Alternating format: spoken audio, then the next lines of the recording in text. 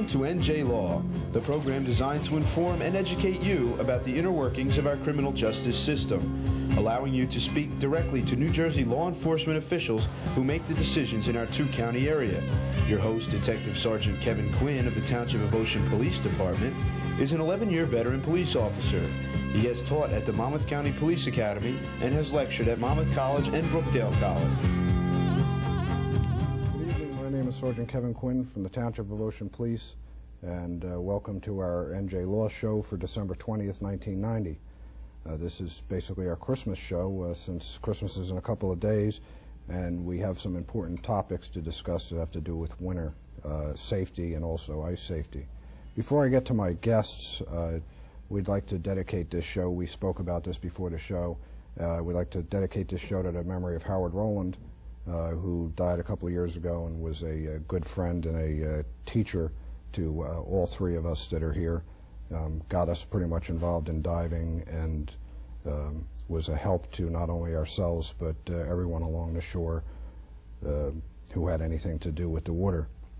Our number here at the studio is 681-3330. That's 681-3330. If you have any questions about what we're discussing or any law enforcement related questions that we might be able to answer, please give us a call. If we don't know the answers, we'll certainly try to find out for you, uh, and hopefully uh, the subject uh, on winter that we're speaking about you'll be interested in and might have some questions for my guests. And to get to them, to my immediate left is uh, Patrolman Eric Rice of the Howell Township Police Department. He's also uh, engaged or, or, involved in the Fairview First Aid up in Middletown. And to his left is uh, Sergeant Dana Parsells of the uh, Township of Ocean Police, uh, who happens to be my partner in the police department there, and uh, who's the commander of their underwater search and recovery team. Uh, gentlemen, I want to thank you for taking time to come down, especially I know you have a lot of Christmas shopping to do, and you took time out to come down, so I appreciate it. Um, Dana, I want to start with you and ask a question. I think uh, some of the viewers at home may or may not understand what underwater search and recovery is about, and uh, Ocean Township, I believe, is one of the first departments in the area to have such a team. So maybe you could explain how it came about.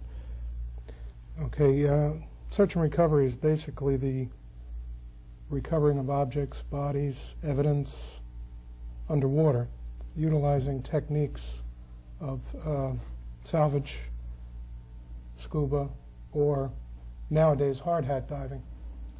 Back in 1973, when I joined the department, the team was already in effect, and uh, we brought it up from a um, local team and would utilize throughout the state in the 70s.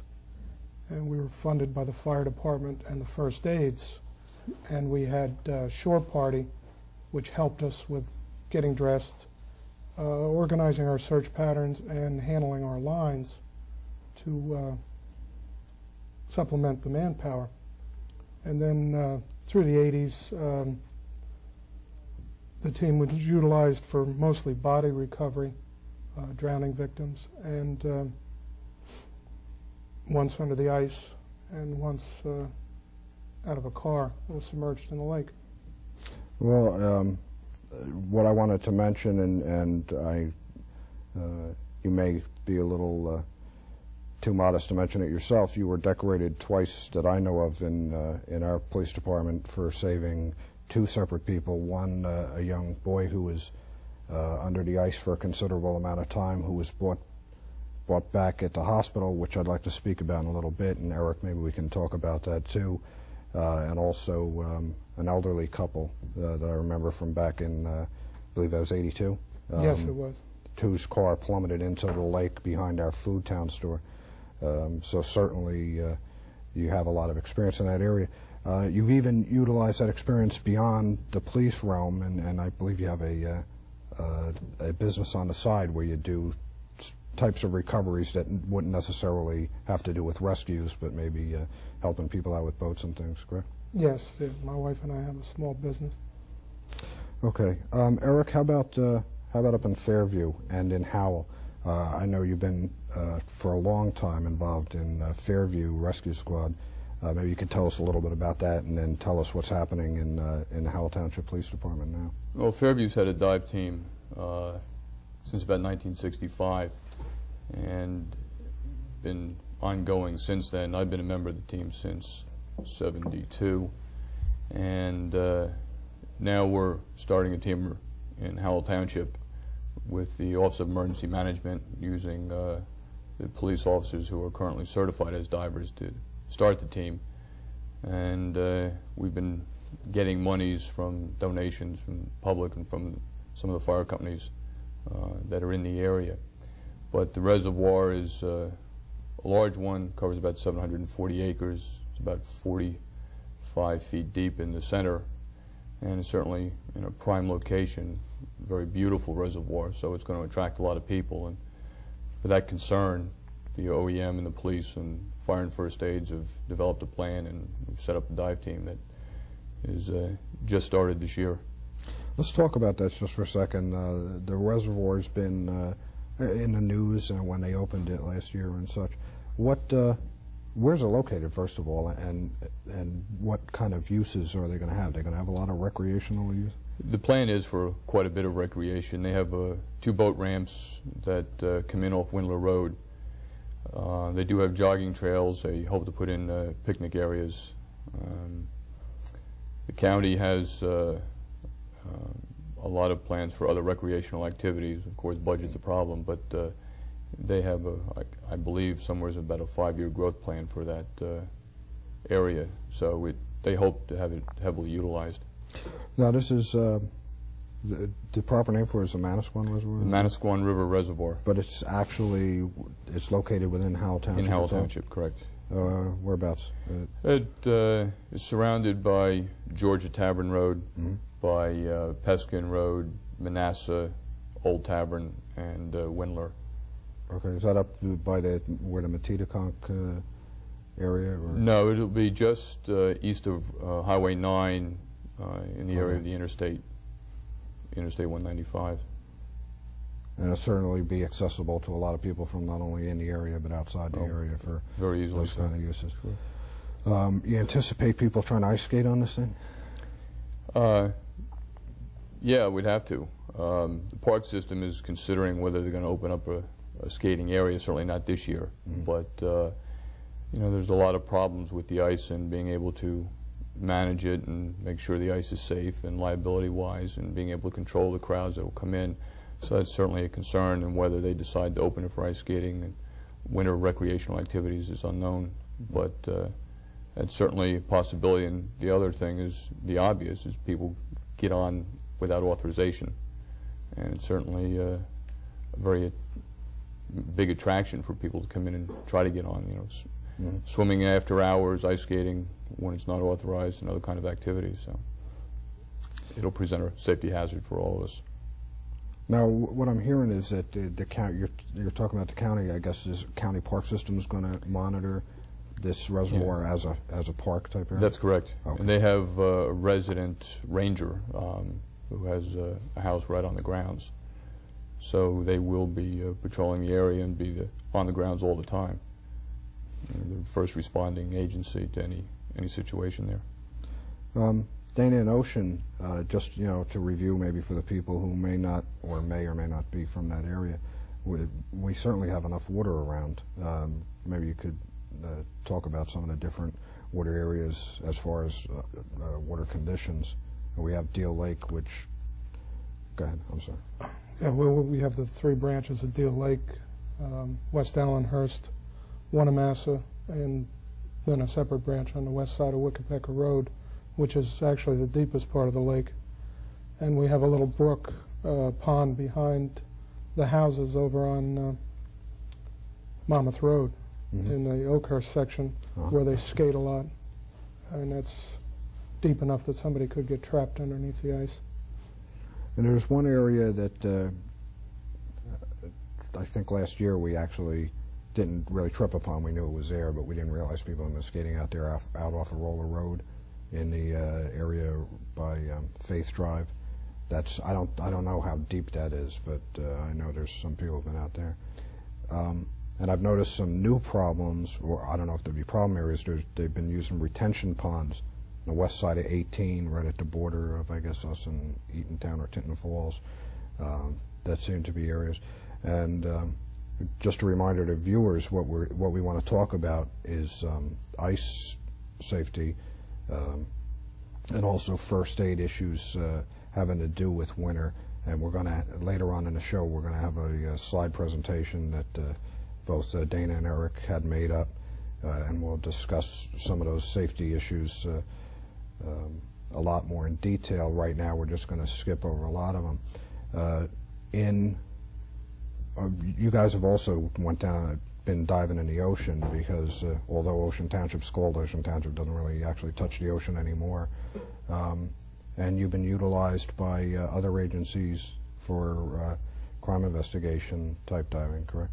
Yes, uh, the FBI, Monmouth County, and quite a few of the local police departments. Um, as a matter of fact, one of the most famous cases I can recall right off the top of my head uh, has to do with uh, some diving up in Keansburg, I believe. Maybe you could tell us a tiny bit about that. That was um, the CBS murder case where the convicted perpetrator, Donald Nash, uh, gunned down the people up on the pier parking area. He lived in Keansburg. Uh, the FBI set up a surveillance, followed him back to his Keansburg house, which the back uh, yard bordered on the tidal creek back there. When they decided to search the premise, the FBI's dive team was in its fledgling state, and they asked us if we would come in and join up with their team to assist in the searching for evidence and or any bodies that might be in the creek. Uh, we spent two days up there executing the search warrant while they hit the house. We were in the water and we located, I think, 11 22 caliber uh, shells, which were the same shells. The extractor marks matched the same shells found on the on the pier that did the murders, and we found quite a bit of evidence, uh, license plates that were used in a pirating, pirating uh, cab scheme that they had up there, and um, some of the paint they used to camouflage the van when they took it to Kentucky. Uh, the credit card receipts from where he bought the ammunition, and uh, this was a while ago. I forget the total number of pieces, but we went up and testified in the Superior Court in New York uh, for recovering that evidence.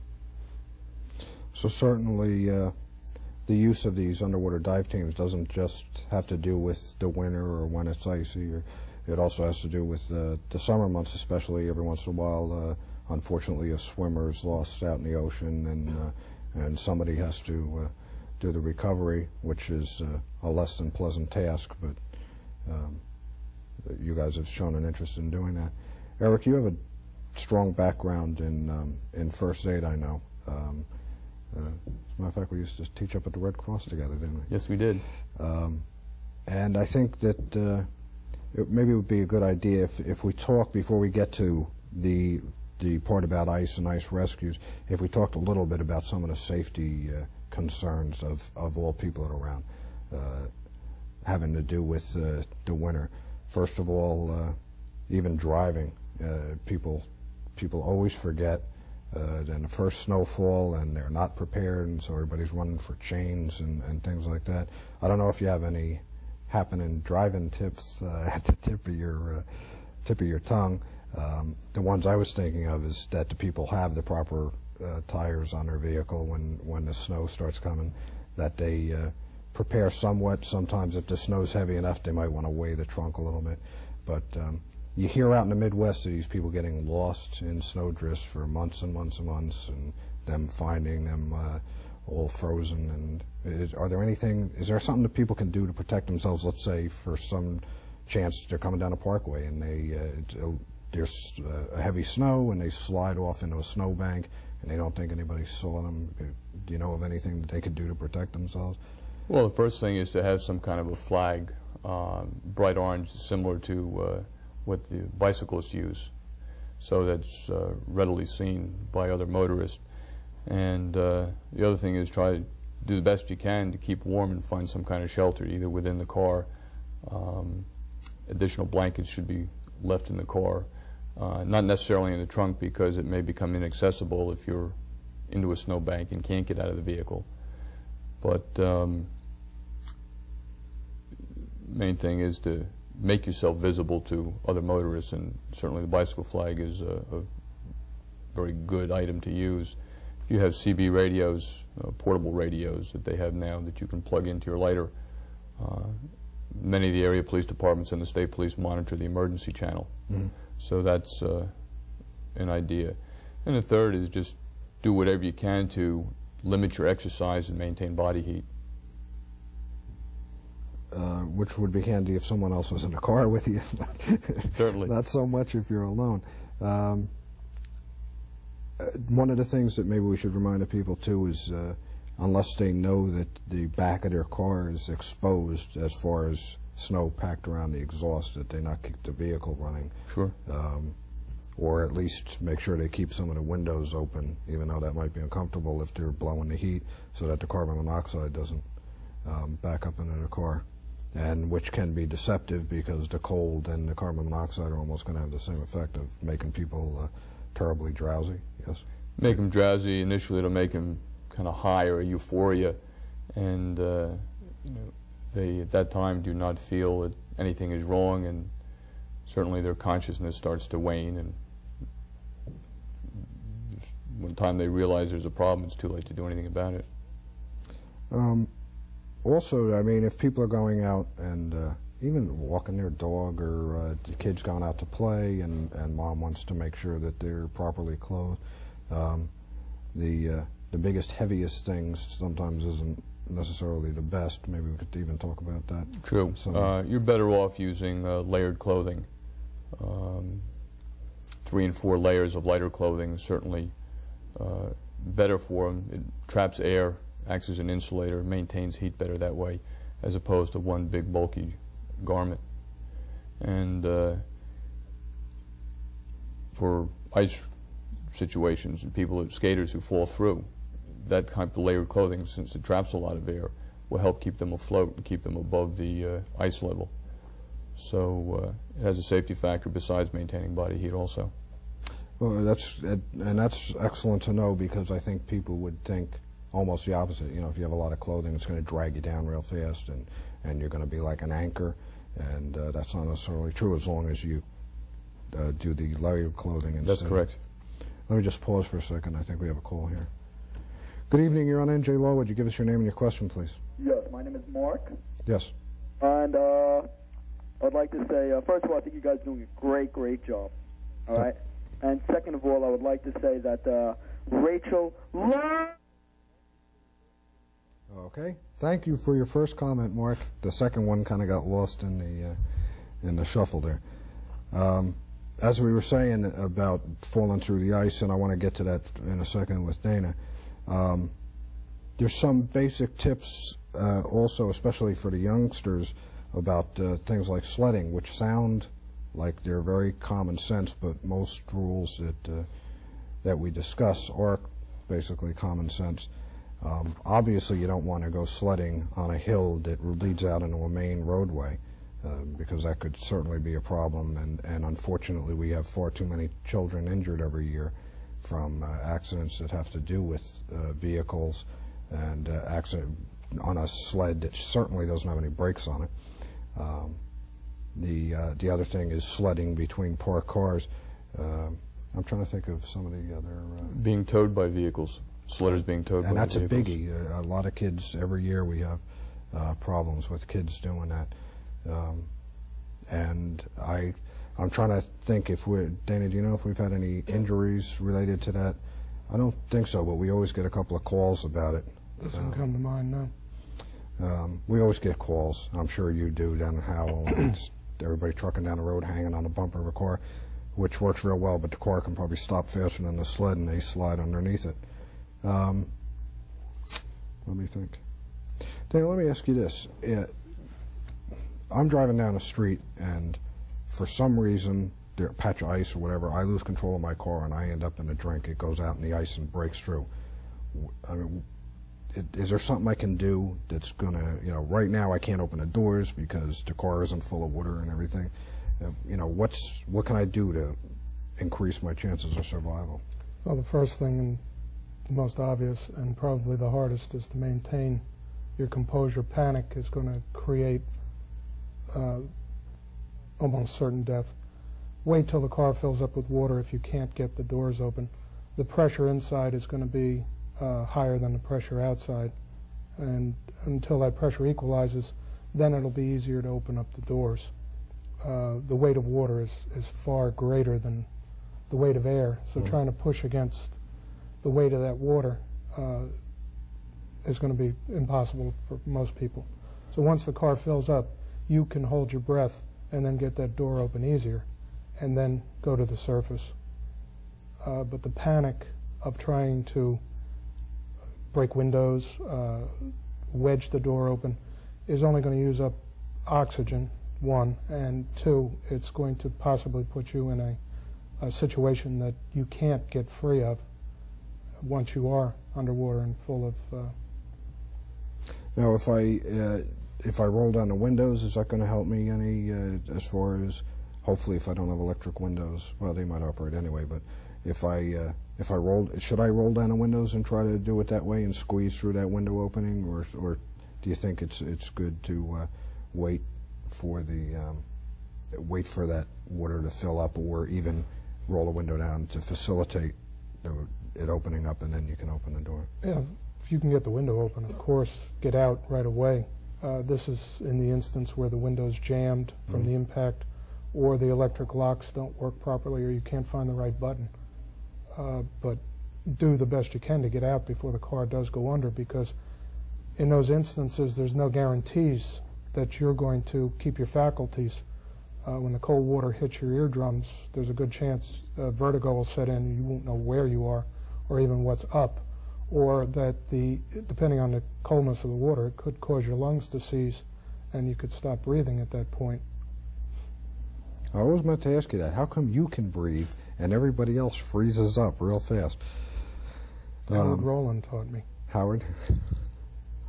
I saw Howard go into some real cold water and wanted me to come in after him. I didn't quite have the, uh, whatever it is. It must be that internal furnace you guys got.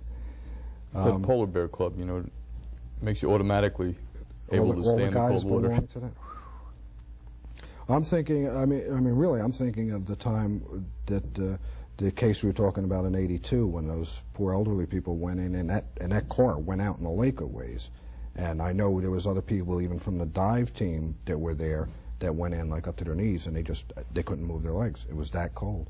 And here comes, um, over the top. But I guess you know either either you love the water or the cold just doesn't get to you the way it does to everybody else. It just doesn't get to me. I've always been at home in the water, and the cold, uh, it, it never really seized my lungs the way it does some people. I guess for those people, that was fortunate. Okay, in a couple of seconds, we're going to uh, we're going to pause for a minute, and uh, we have a a message uh, of importance from the Howell Township Police Department. Uh, and as soon as that public service message is over, we'll be back, and uh, I think we'll start talking about these slides uh, and see some of the tips that uh, you folks at home can certainly practice uh, and possibly save someone's life or your own. Brent, I don't know how close we are to the commercial, so if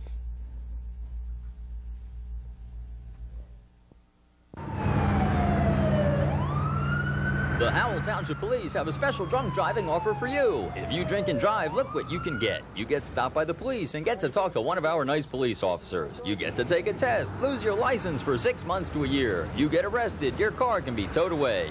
You get a free ride in a police car. How much does this cost you? Don't answer, there's more. You get booked, fingerprinted, the breath test, you get your picture taken. You can spend 24 hours in jail. You even get your name in the paper. Now what do you think of our offer? Fines, fees, assessments, treatment costs, legal bills, higher insurance rates. All this could be yours for $3,500 or more. And best of all, it's automatic, immediate, and fair. Impress your friends, family, your boss. Everyone will know you drink and drive. This offer is available on all 400 miles of Howell roadways. Three breathalyzers and 70 operators standing by 24 hours a day. This message brought to you by the Howell Township Police, saving lives since 1971. Howell Township, where we take highway safety seriously. I want to thank uh, Chief Bricani for reminding me about that uh, that spot. It's certainly, uh, especially in this holiday season, uh, very important for us to remember. Remember, our number here is 681-3330, 681-3330. If you have any uh, comments other than uh, screaming on the phone, we'd be glad to entertain some questions. getting back to my guests, we're going to talk a little bit about the first aid factors having to do with the cold weather and um, as everybody knows, uh, especially uh, the, us of advanced age, that uh, during the winter, a lot of things start happening. Uh, it seems like the joints get colder a whole lot faster than the fingers do, and the toes. And we all know that uh, those of us who have children, that they have a tendency to stay out until uh, their fi yeah, fingers and feet don't work anymore, and then decide to come inside and seek some warmth. So, Eric, I'm going to defer this to you. Maybe you could, we could talk a little bit about some of the different um, problems associated with cold exposure and then maybe what some of the things are that we can do uh, in case it's not serious enough to call uh, the first aid or the police about. Well, more common injuries uh, related to the cold are going to be that of frostbite. And, you know, the body maintains its heat uh, through the circulation. So the areas that are very poor with circulation, earlobes, the uh, joints, fingers, toes, uh, over the bridge of the nose and around the bone of the cheek underneath the eye, um, will freeze a lot quicker because of the fact that minimal circulation there. And uh, most people who have frostbite don't realize it. They are told they have it by somebody who can see the waxy appearance that develops because with a frostbite it freezes the nerve endings there and they just have no pain, no feeling whatsoever in that area. But um, the main thing to uh, concern yourself with is the fact that you have fluid in the cells and they freeze like ice crystals and are very sharp. So if you rub them, they uh, will cut. You have more fluid that lo you lose. Uh, there may be some bleeding. And the tendency is to try to rub your fingers and rub your hands to warm them up, and that's really the worst thing you can do because all you're doing is making more cuts inside the skin and uh, causing more damage. So what you want to do is be very gentle um, with these areas. If it's your fingers, put them inside your coat, uh, under your armpits, a warm area. Um, for your toes, really not much you can do until you get out of the cold. Uh, and that's basically the thing to do for all of those things is get out of the cold, uh, and warm up, either wrap them in uh, blankets. Um, one thing that's very good if it's a small area that's been affected, such as the hand or fingers or feet or toes, is to immerse them in warm water, approximately body temperature, a little bit warmer, 100, 105 degrees. But somebody else should test the water because the person who is frostbitten is not going to be able to um, grade what is warm and what isn't, and what is cool to you is going to be very hot to them because of the change in sensation. Uh, so immersing in warm circulating water is very helpful. If it's large areas of the body that have been affected, arms and legs, obviously that person needs uh, medical attention. They should not walk on the frostbitten extremity uh, and be transported to the hospital by stretcher or ambulance and examined that way. How about um, maybe you could review just, just uh, once again what exactly uh, frostbite looks like so that maybe somebody be able to, uh, especially those with uh, children, be able to identify that and know when there's a problem that needs. Uh, well, it starts off as a reddening of the skin, almost like a sunburn, and uh, at that point it progresses, becomes a yellow, waxy appearance, and when it does have that appearance, there's no feeling to that area. So you can touch yourself here and here, and it feels numb, uh, like a part of your body's asleep, or no feeling at all. And uh, again, it's something that uh, other people are going to have to see. You're not going to see that yourself.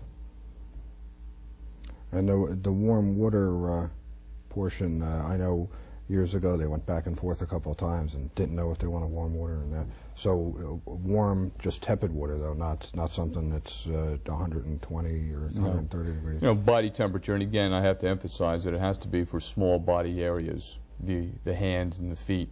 Uh, if the whole body is affected, obviously this person may lose consciousness, and you put him in the water, um, and he loses consciousness in the bathtub, for instance. Uh, he may drown. If you put him in the shower uh, and he passes